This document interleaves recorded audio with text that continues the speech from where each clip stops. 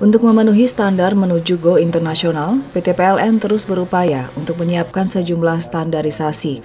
Salah satunya sertifikasi dan kompetensi setiap anggota. Hal ini disampaikan oleh Direktur Distribusi PLN, Adi Prianto, pada apel konvensi PDKB se-Indonesia di PLN UPDL Udiklat Semarang. Pihaknya akan membentuk tim khusus dari pasukan PDKB untuk diberikan keterampilan bahasa serta kompetensi lainnya menyesuaikan dengan kebutuhan internasional. Kita akan meningkatkan kompetensi dari masing-masing regu kita, kekompakan dari regu, regu kita, kemudian keterampilan ya keterampilan dari regu kita, bagaimana kita bisa bekerja dengan sebaik-baiknya sesuai dengan standar internasional tentunya dan kita tentunya sekali lagi adalah bagaimana menunjukkan kepada negara-negara tetangga kita kehebatan dari uh, kompetensi PDKP kita.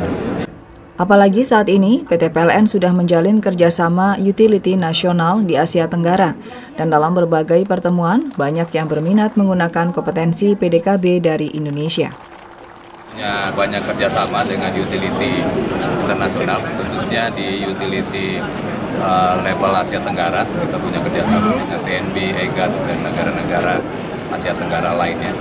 Nah, dari beberapa pertemuan uh, itu menunjukkan bahwa kita mem memang memiliki keunggulan di, di PDKB, sehingga uh, utility di negara tetangga kita itu berminat uh, untuk menggunakan kompetensi ini di mereka.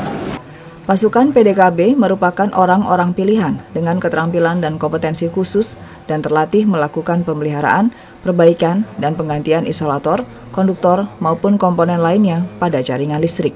Mereka memiliki kemampuan khusus dan beresiko tinggi untuk bekerja tanpa harus memadamkan aliran listrik.